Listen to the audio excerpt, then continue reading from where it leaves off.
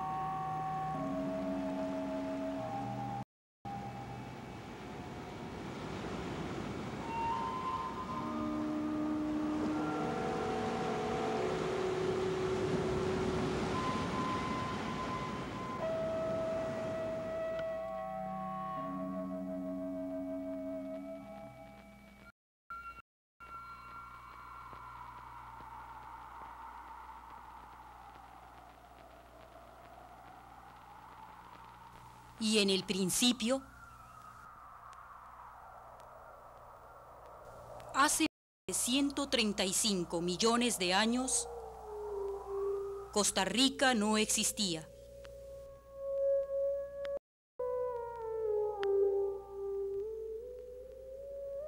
Un extenso canal separa lo que hoy es la América del Sur del resto de América. Mientras gran parte de los territorios vecinos del norte y del sur habían alcanzado ya su configuración general 120 millones de años atrás, nuestro territorio esperaba debajo del...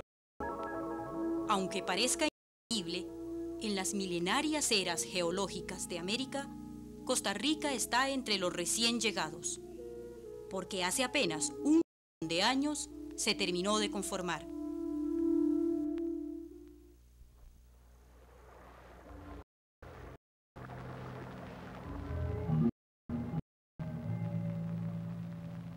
El extenso canal que separaba el norte de Centroamérica del territorio de Sudamérica tenía, bajo la aparente tranquilidad de sus aguas, una intensa actividad orogénica. Esto es, formación de plegamientos por fuerzas en el fondo del océano. Poco a poco, estas enormes presiones internas de la Tierra fueron formando crestas montañosas, cuyos puntos más altos sobresalieron del nivel del mar, dando origen a una gran isla llamada por los geólogos Guanarribas, por ser lo que corresponde aproximadamente a lo que hoy son los territorios de Guanacaste y Rivas. Después surgieron otras islas que junto con la anterior formaron un archipiélago. Esto sucedió hace unos 100 millones de años. En un mar de poca profundidad, durante un extenso periodo, entre 20 y 40 millones de años, Guanarribas, posiblemente la isla del Caño, Santa Elena y las demás islas sufrieron de la erosión del las lluvias y otros fenómenos.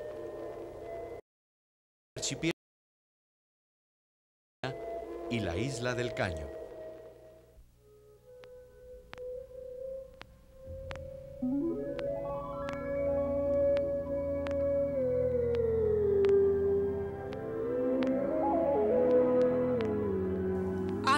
Unos 30 millones de años se inició una nueva actividad tectónica y volcánica que produjo nuevas deformaciones y levantamientos de la corteza terrestre hasta entonces sumergida.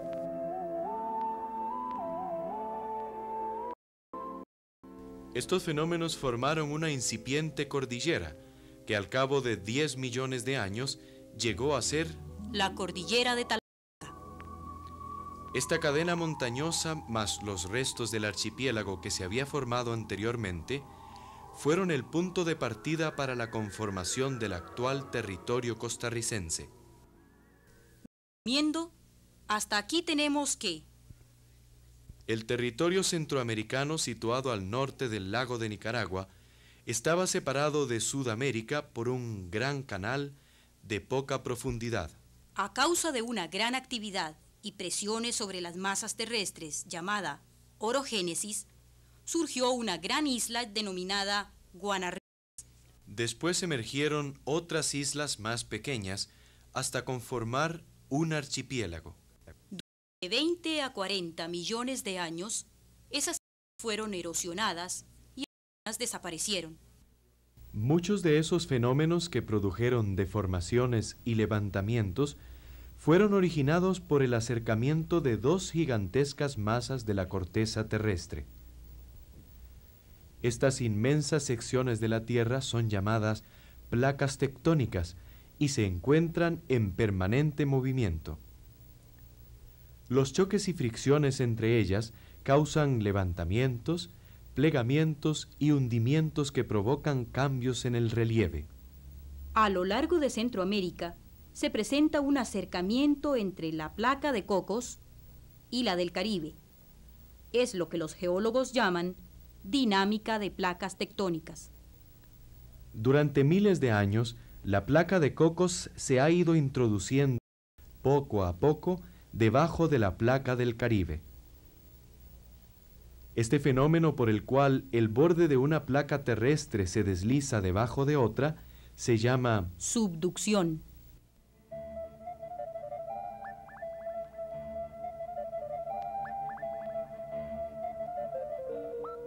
En consecuencia, la placa de cocos que roza por debajo a la placa del Caribe se llama placa subducente.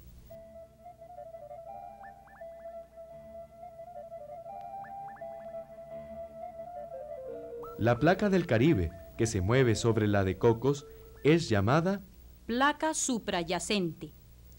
Por lo general, el frotamiento de ambas produce los temblores y terremotos en Centroamérica.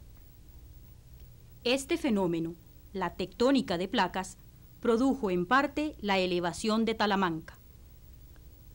En resumen, el deslizamiento del borde de una placa debajo de otra produce una enorme cantidad de calor en las zonas más profundas de la Tierra.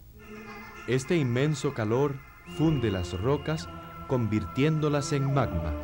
El magma es empujado hacia la superficie de la placa suprayacente y sale a través de los volcanes, dando origen a otro tipo de relieve, las sierras volcánicas.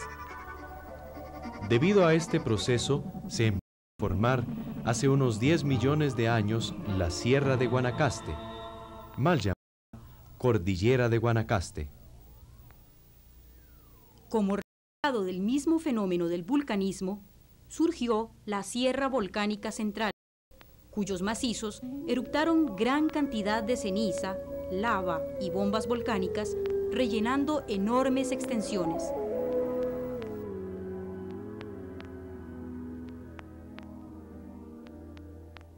Una prueba evidente de todo esto es el cañón del río Virilla, en el que se pueden observar distintas capas de materiales volcánicos, hasta 300 metros de profundidad.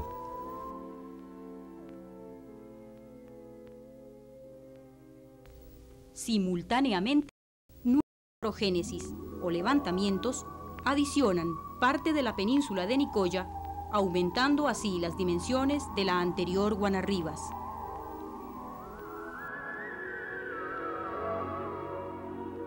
El mismo proceso hizo emerger otras tierras, en las que es posible, como testimonio del pasado, encontrar gran cantidad de peces, moluscos, y otros animales marinos fosilizados.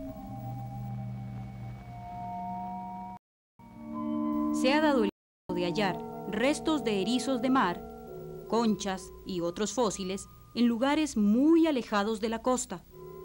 Es que muchas tierras que hoy están a cientos de metros sobre el nivel del mar, hace miles de años se elevaron desde las profundidades marinas.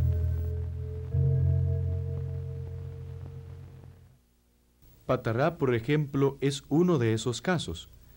Por ello, en sus canteras se puede encontrar gran cantidad de fósiles, testigos mudos de un pasado milenario en el fondo del océano.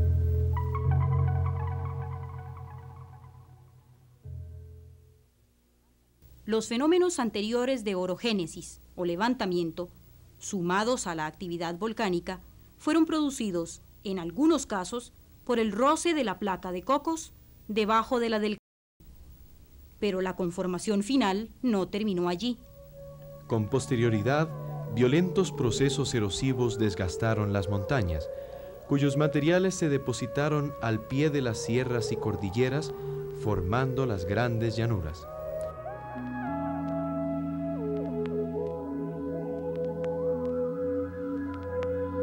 Como la llanura de San Carlos, en el norte del país, que es de los materiales arrastrados por los ríos, o sea, materiales aluvionales. Lo mismo sucedió con la llanura del Caribe. Ambas originalmente eran ocupadas por la llamada Fosa de Nicaragua. Todos estos procesos continúan hasta el presente. Algunos de ellos son tan lentos en relación con el progreso de la civilización que casi no podemos apreciarlos con claridad. Salvo, claro está, cuando se producen bruscos, como por ejemplo la actividad volcánica del Irazú, que dispersó gran cantidad de cenizas, transformando los terrenos aledaños al cráter.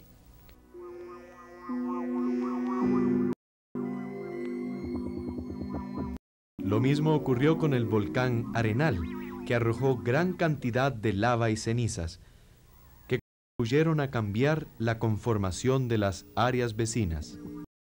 Como muchos recordarán, el área de Taras de Cartago sufrió transformaciones a causa del material que arrastró el río. En este caso, no fue solo la influencia de los fenómenos naturales, sino también la trágica incidencia de la deforestación en el curso superior del río Taras, que dejó libre el paso al tremendo alud. Estos que comentamos y otros fenómenos similares terminaron de formar el puente que unió las dos masas terrestres existentes en América, completando, al rellenar el canal que existía, el istmo centroamericano. Y ahora lo invitamos a recorrer con nosotros, en la pantalla de su televisor, algunas de las actuales regiones naturales de Costa Rica que fueron producidas por la acción de los fenómenos que acabamos de mencionar. Nuestro país quedó dividido longitudinalmente por cadenas montañosas que separan la región baja del Pacífico de la caribeña. Estas cadenas montañosas compuestas principalmente por la cordillera de Talamanca, que se desarrolla desde el sur de la depresión central hasta territorio panameño. Volcánica. Que se extiende desde la frontera norte en territorio nicaragüense hasta el macizo del Turrialba. La Sierra Volcánica, a su vez, está subdividida en varias secciones. Así, de noroeste a sureste tenemos una primera unidad denominada Sierra de Guanacaste, compuesta de varios macizos volcánicos, entre ellos Orosí, Rincón de la Vieja, y Arenal. Una segunda unidad denominada Sierra Minera de Tilarán, que comienza prácticamente al sur Laguna Arenal.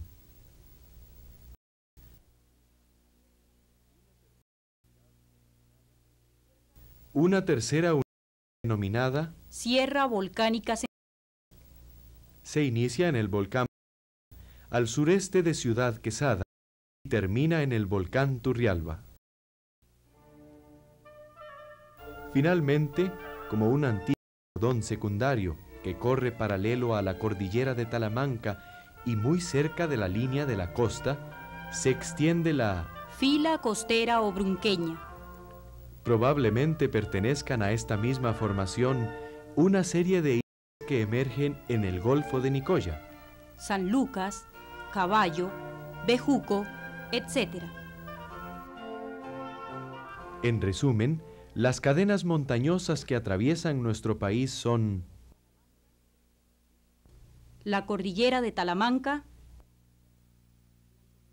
la sierra volcánica, subdividida en tres secciones o unidades. Sierra de Guanacaste,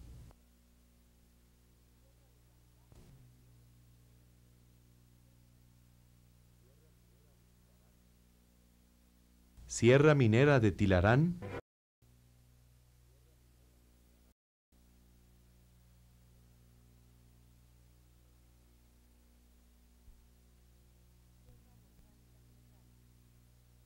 Sierra Volcánica Central.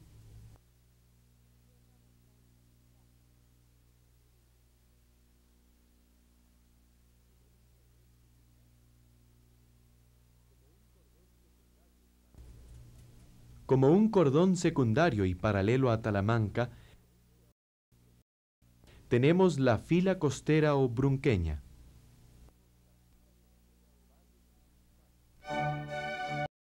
Valles principales.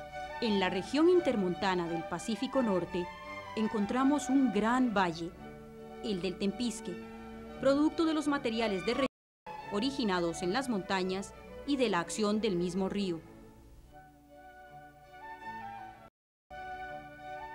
La depresión central, mal llamada Valle Central, tiene características totalmente diferentes de las del Valle del Tempisque, porque la depresión central surgió por la orogénesis de la cordillera de Talamanca y de la Sierra Volcánica Central, que luego se terminó de configurar por la acción volcánica.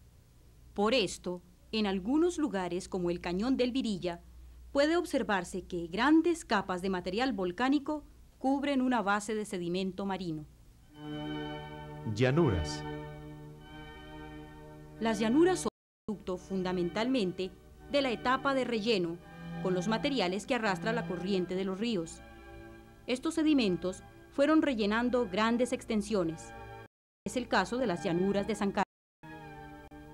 Las llanuras de Tortuguero también son aluvionales, o sea que se formaron con el material arrastrado por los ríos que desembocan en el Caribe.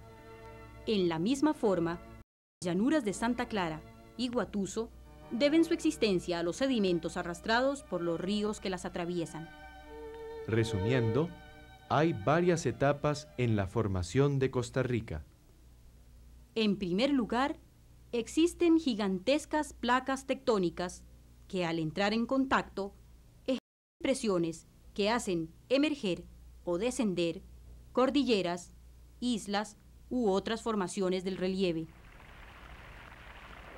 Como consecuencia de la tectónica de placas, se produce la orogénesis, o sea, la formación de montañas, pliegues del terreno y otras formas del relieve causadas por las presiones internas de la Tierra.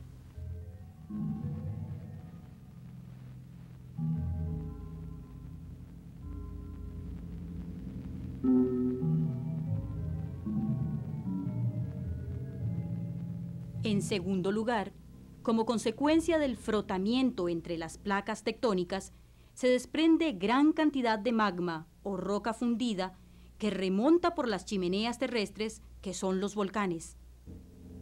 El material que los volcanes lanzan en sus erupciones transforma también el relieve. Finalmente, la acción del agua y de otros elementos terminan de rellenar la superficie formando aluviones, o sean, acumulaciones de sedimentos. Todos estos fenómenos, entremezclados, han sido los que produjeron las distintas formas de relieve que hoy constituyen nuestro país. Así llegó a comportarse el territorio de Costa Rica tal como lo conocemos hoy, después de esperar 135 millones de años para surgir desde el fondo mismo del océano.